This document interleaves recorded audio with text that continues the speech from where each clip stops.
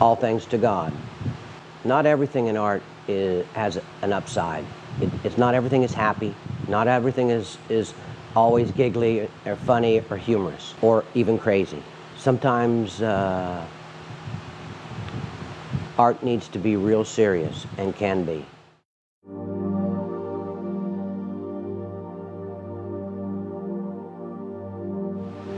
I'm born in 1949. I'm a uh, baby boom boomer baby, and I've been living with the fear of the nuclear bomb since my birth. Um, I can remember in school hiding under tables for nuclear drills, and it's it's always been something that's never ever left my consciousness. I started doing nuclear landscapes.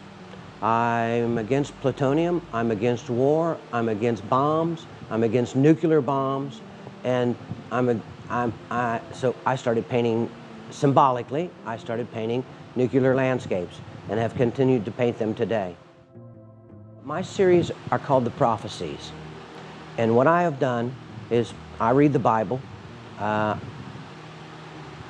and I'm conscious of, of things that are in the Bible.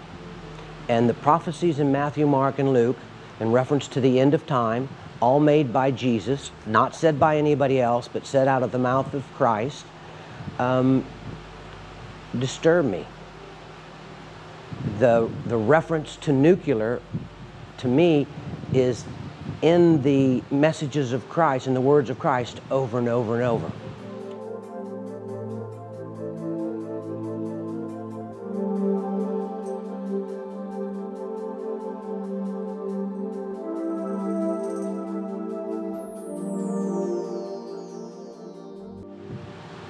The, the people who survived were literally poisoned by the rain that fell on them later, the black rain.